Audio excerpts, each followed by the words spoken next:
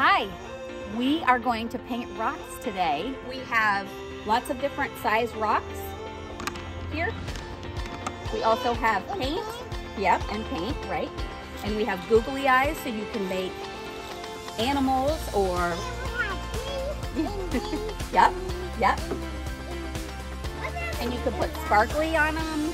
Um, you can put blue dots. I think the little one might want to use blue dots, but we'll see. I got a couple of different styles of paintbrushes.